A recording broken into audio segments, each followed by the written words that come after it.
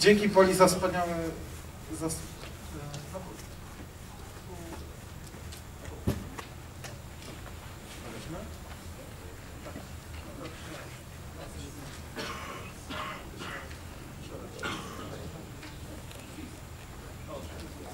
tak, żeby Was obudzić, możecie się przeciągnąć, zaraz lecimy. Wetnę się 5 minut e, kawy, ale tak jesteśmy skróceni, więc musimy. Więc żeby Was obudzić na początek straszne kolorki, pamiętajcie, że Wiki kocha przywództwo. Tak? Przywództwo kocha, przywódcy kochają Wiki. Dlaczego? I co to tak naprawdę znaczy? Co to znaczy być przywódcą na Wiki? Nie tylko na Wikipedii, nie tylko na Wikimediach, na każdym, tak naprawdę każdym projekcie, który wykorzystuje Wiki. Dlaczego w projektach Wiki e, przywództwo jest nieodzowne? To jest, taki żarcik, który jeszcze zrobiłem sobie w Hajfie. Pozwoliłem sobie poprawić stronę główną. Mianowicie Wikipedia. To jest wolna encyklopedia, której tak naprawdę każdy potrafi redagować, każdy może redagować i której każdy potrafi i powinien przewodzić. A powodem jest ta wielka kultura Wiki. Jak było ze mną? Dawno, dawno temu, w 2004 roku przybyłem, zobaczyłem i zauważyłem dwie, dwa podstawowe rzeczy. Po pierwsze, Wikipedia to nie jest tylko pisanie haseł. Nie wiem, czy jest tutaj wiele osób spoza Wikipedii? Tak? Można podnieść rączki. Że sami, sami są nasi, tak? Tutaj jest pan. Tak, tak. To Obcy się, obcy się wstydzą. No dobrze. To w takim wypadku e, przypomnę, że Wikipedia to nie jest tylko pisanie haseł. Bardzo często się mówi o Wikipedii jako o wielkim projekcie, pomyśle dla, nie wiem, bibliotekoznawców, dla bibliotekarzy i tak dalej. Nie, Wikipedia to nie jest tylko pisanie haseł, to nie jest tylko praca na akord, gdzie dostaje się od kogoś temat i się po prostu o nim pisze, gdzie siedzi jakiś wielki ekspert i z czaszki, tudzież z książek e, pisze hasło. Nie, to tak nie wygląda. E, Jest bardzo wiele rzeczy do zrobienia na Wikipedii. E, Jest organizowanie, jest stwierdzenie, o czym mamy pisać, jak mamy pisać, z kim mamy pisać. I w związku z tym ktoś to wszystko musi organizować, mówiąc po młodzieżowemu, ogarniać. I to jest druga rzecz, która jest potrzebna na Wiki, że objęcie przywództwa jest tutaj dziecinnie łatwe. To jest strasznie proste. To przywództwo leży na ulicy, tak? To wystarczy podejść i wystarczy zacząć. Dlaczego? Bo w stosunku do normalnej takiego codziennego świata są znacznie niższe bariery wejścia. Po pierwsze jest taka inkluzywność jak na imprezie karaoke, tak? Kto zostaje przywódcą, ten kto chwyta za mikrofon, tak? Zgłasza się i mówi, że on to zrobi. To jest bardzo proste i to jest coś, o czym zawsze powtarza Sebastian, tak? Że wystarczy zacząć, wystarczy chcieć, tak? E, Nie, nie musicie czekać na nikogo, żeby was zatrudnił jako menadżera na Wikipedii. Nie, nie musicie walczyć o to przywództwo, nie musicie zdawać egzaminu państwowego, tak? nie musicie składać CV-ki. Tak? Możecie mieć 13 lat i możecie zorganizować bardzo fajny projekt. Tak? W normalnej firmie, w normalnej instytucji, w ministerstwie, mówiąc brutalnie, nikt wam na to nie pozwoli. Jeśli jesteście studentem, uczniem czy człowiekiem z doskoku, nikt wam nie pozwoli, będąc na stażu, zazwyczaj kierować czymkolwiek. Natomiast na Wikipedii jest tak, jest tak najbardziej możliwe. Dalej, na Wiki jest bardzo ograniczona hierarchia, na pewno jest bardzo ograniczony zestaw wymaganych umiejętności, tak? To jest jednak cały czas siedzenie przed komputerem, nawet jak tutaj się spotykamy, to jest takie parę razy do roku. Zazwyczaj wystarczy umieć pisać z sensem i umieć powstrzymywać się od brutalnych komentarzy. Także zakres przywództwa jest bardzo elastyczny i jest ustalony przez samego lidera, tak? Nie musicie zajmować się wszystkim. Wystarczy, że ktoś chce się zajmować moderowaniem, tak? ktoś chce prowadzić swój wiki projekt, ktoś chce pomagać sprzątać. Wystarczy, że się za to chwyci. Tak? Nie, nie macie jakichś strasznych obowiązków związanych z byciem. Natomiast dlaczego nie wszyscy się za to chwytają? Tak? Dlaczego wiele osób od tego ucieka? Dlatego, że to jest cały czas bardziej wymagające od zwykłego redagowania haseł.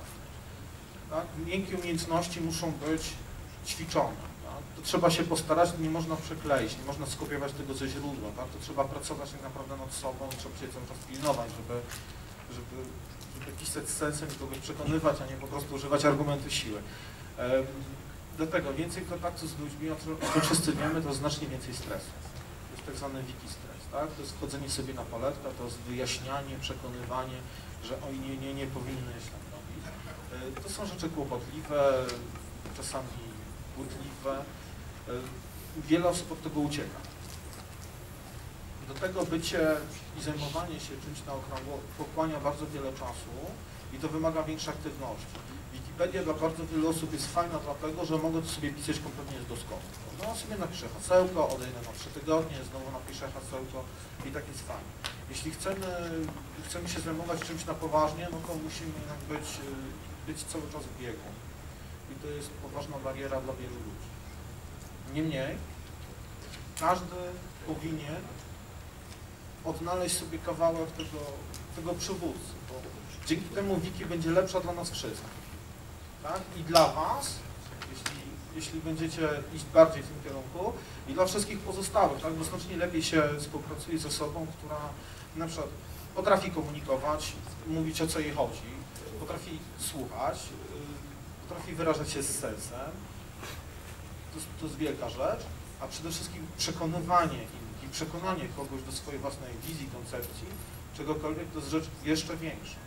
To, jest, to, to jest podstawa pisania tej całej encyklopedii, w końcu wszyscy piszemy to po to, żeby przedstawić no, pewien punkt widzenia, zapoznać się z innym punktem widzenia, coś napisać, napisać to hasło i wnieść swój wkład w projekt. Tak? Żeby to zrobić, musimy przekonywać. Wikipedia jest merytokracją na szczęście, częściowo, i podstawą jest przekonywanie innych. Na szczęście jest cały czas siła argumentów, nie argument siły. Staram, staram się w to No i do tego tak naprawdę najważniejszy jest ten, jak mówili klasycy, all you need is love, tak? Eee, Jest ta koncepcja wiki-love, tak? podejścia ciepłego, podejścia miękkiego. Nie musimy od razu strzelać do tych pozostałych e, wikipedystów. Znacznie skuteczniejsze jest tak naprawdę przekonywanie w sposób miękki. Przywódcy kochają ten mechanizm wiki za tą jego otwartość, tak? że bardzo łatwo jest coś zrealizować, swój pomysł. Z kolei wiki bardzo kochają przywódców, bo zawsze jest taka sytuacja, że ktoś, ktoś musi ogarnąć. Tak? Większość osób ucieka od, ucieka od odpowiedzialności, od tej pracy bieżącej, z przyczyn oczywistych, i, a wiki kochają, kiedy ktoś to, ktoś to jednak, kiedy ktoś nad tym wszystkim pracuje. Wczoraj rozmawialiśmy w nocy i, i padały takie głosy, że ja bym bardzo chętnie nawet scedował tą odpowiedzialność i tę władzę na kogoś, żeby ktoś to zrobił. Ja sobie będę siedział, dostanę temat, ktoś, ktoś mi to weźmie, pokaże, to będzie fantastyczne. Tak? Ktoś się tym zajmie, ktoś weźmie i rozsądzi spory, a ja sobie będę spokojnie pisał. Tak? Tylko, że niestety nie mamy, albo stety nie mamy jakichś opłacanych y, administratorów, y, nie ma opłacanych moderatorów, nie ma jakiejś naczelne, naczelnego wydawnictwa Wikimedia Polska, które opłaca struktury zarządzające. Robimy to sami. My to wszystko robimy sami, my się sami zarządzamy. To jest, dla, dla mnie to jest w ogóle najwspanialsza rzecz w Wikipedii, tak, że ten projekt sam się zarządza. To nie jest tylko tak, że piszą się hasła i ludzie piszą hasło. Nie. To jest fantastyczne dlatego, to jest fantastyczne też dla fundacji, dlatego, że to się samo w ogóle nakręca. Ludzie sami wyrobują kolejnych ludzi, sami sobie ustalają zasady, sami pilnują zasad, egzekwują to na innych ludziach i to, to też funkcjonuje, tak? Wspaniała rzecz. Dlatego właśnie fundacja, stowarzyszenie kochają tych przywódców. Stąd to są te wszystkie glamy, wiki konkursy, prośby o inicjatywy, pytania, co jeszcze byście chcieli zrobić. Tak samo z fundacją. Wystarczy popytać, wystarczy do nich napisać maila, wystarczy wejść na jeden z 20 projektów, gdzie oni próbują na przykład koordynować poszczególne wersje językowe. Fundacja, nie wiem czy o tym wiecie, czeka na ludzi, którzy wyjdą z chęcią współpracy międzyprojektowej. Fundacja czeka na ludzi, którzy powiedzą im, jak to jest na polskiej Wikipedii i jakie są ich stanowiska. Przynajmniej tak twierdzę. Yy, Fundacja, im, jest- im jestem w stanie jak najbardziej uwierzyć. Yy, Fundacja czeka na takich ludzi, którzy zaczną kopiować pomysły i zaczną się komunikować. Tylko na razie mało chętnych. Mam nadzieję, że teraz będzie ich więcej. Co za tym stoi ta olbrzymia kultura. Niedoceniana. Taka wielka ściana, ściana tekstu, że Wikipedia pragnie przywódców. I to jest bardzo ważne. Tutaj chłopcy mówili, że potrzebujemy ludzi technicznych, potrzebujemy ekspertów od wiedzy. To prawda. Natomiast Wikipedia też potrzebuje ludzi od rzeczy miękkich. Ona potrzebuje organizatorów, wizjonerów, takich mediatorów, mentorów, tak? Potrzebujemy sędziów, sędziów. Potrzebujemy ludzi na przykład w komitecie arbitrażowym, tak? Co było widać, że nie ma, nie ma lasu rąk tłumu, który by tam biegł. Dlatego jeśli werbować, na przykład niekoniecznie też musimy posiadać nowych ekspertów w danej dziedzinie. Może potrzebujemy ludzi, którzy po prostu bardzo dobrze potrafili ułatwiać innym życie na tym projekcie, ułatwiać życie ekspertów.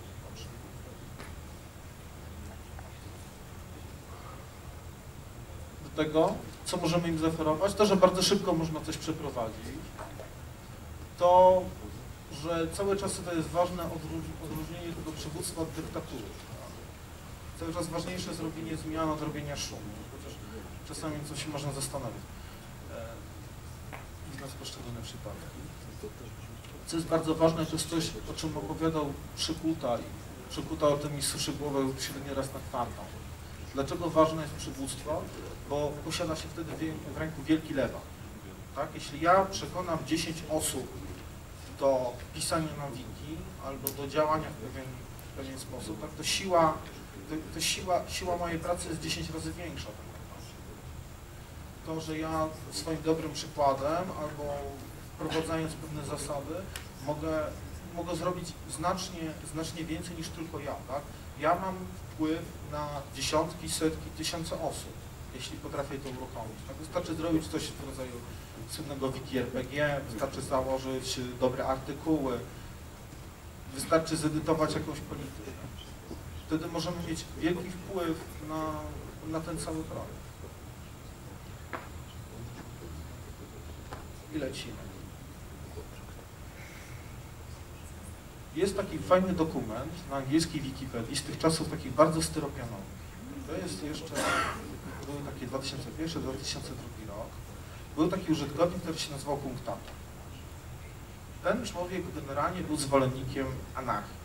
On był zwolennikiem tego, że Wikipedia jest ćwiczeniem z anarchii. To chyba dla niego tak naprawdę powstała jedna strona, że Wikipedia nie jest anarchią. Tak?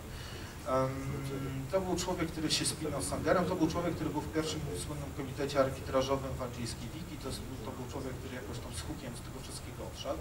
On między innymi zostawił po sobie bardzo fajny dokument, bardzo rzadko cytowany, jak zbudować Wikipedię. On to tworzył jeszcze w czasach, kiedy, kiedy nie było tych pięciu filarów, kiedy to, to, to wszystko wyglądało tak naprawdę trochę inaczej i miał swój zupełnie inny, alternatywny pomysł.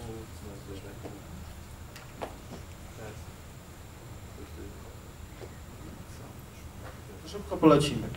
Y, Specjalnie otwarłem stronę na angielskiej Wikipedii, żeby ktoś w wolnym czasie mógł zajrzeć i się do tego przekonać.